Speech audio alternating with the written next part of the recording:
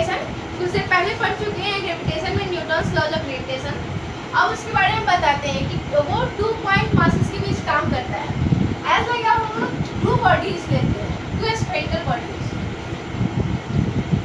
यहाँ पे दो स्पेरिकल बॉडीज है तो ये भी एज लाइक पॉइंट मासेस की तरह ही वर्क करेगा क्योंकि हमको फोर्स निकालना है तो इसे पॉइंट मासेस की तरह ही मान के निकालना पड़ेगा अब मान लेते हैं इसका मास m1 है इसका मास m2 है और इसके बीच का सेपरेशन d है तो अब इसके बीच का फोर्स निकालना है तो एज लाइक हम लोग बॉडीज नहीं लेंगे इसे टू पॉइंट मासेस मानेंगे अब इसके बीच का फोर्स निकालना है तो F इक्वल टू हो जाएगा G m1 m2 by D square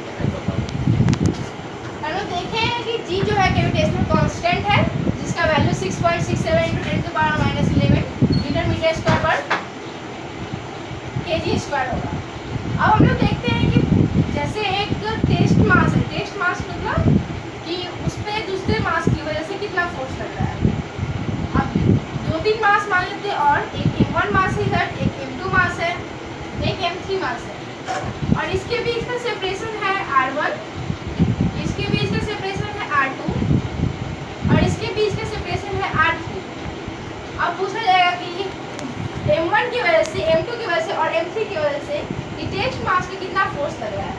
तो ये m1 जो है वो टेस्ट मास क्या करेगा? अट्रैक्ट अट्रैक्ट करेगा इसको इधर दो तीन- तीनों में अट्रैक्शन होगा अब फोर्स निकालते हैं नेट फोर्स होता है फोर्स इक्वल टू होता है फोर्स वेक्टर में लिखते हैं G M one M two by R square अब फोर्स को यहाँ पे आर का हम वेक्टर दे देंगे और ये आर क्यूब दे देंगे। वेक्टर में लिखना है इसलिए आर कैप दे देते हैं आर वेक्टर चलो वेक्टर ही चल रहेगा अब निकालना है का एफ़ वन निकालते हैं। एफ़ वन इक्वल टू हो जाएगा G M one M two by R one square F two हो जाएगा G M one M sorry F two G M two और यहाँ पे एम टेस्ट मास की वजह से निकाल रहा है तो यहाँ पे एम टी होगा।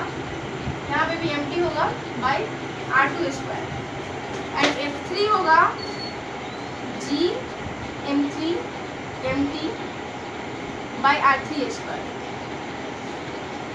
यहाँ पे नॉर्मली लिए हैं, ऐसे इसको वेक्टर के टर्म में लिया जाएगा।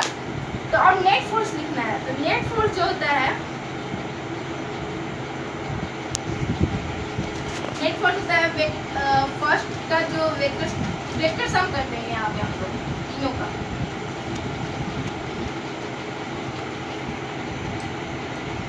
ये हो गया। ठीक है? अब उसके बाद इसको हम एग्ज़ाम्पल बताते हैं। नेक्स्ट वीडियोज़ में एग्ज़ाम्पल बताएँगे। अभी इतना ही याद रखिए। ठीक है? Bye bye bye